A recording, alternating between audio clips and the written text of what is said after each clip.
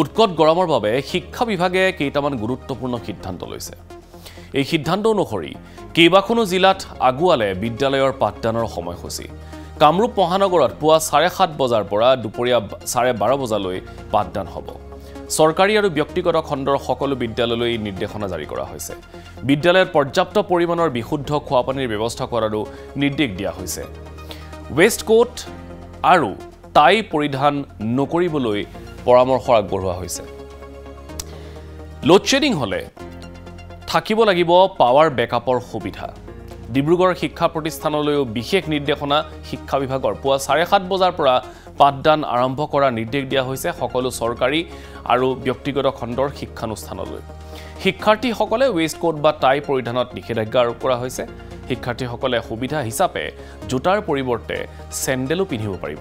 শ্ৰেণীকোঠাত থাকিব লাগিব ফেনৰ লগতে অন্যান্য সুবিধা।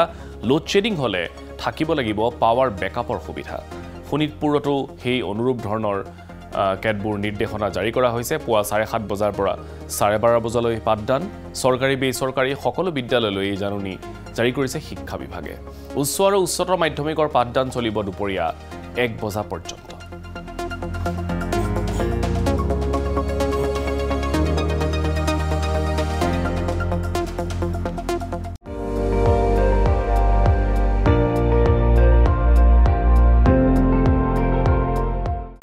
আপুনি চাই আছে এন ডি টুৱেণ্টি ফ'ৰ।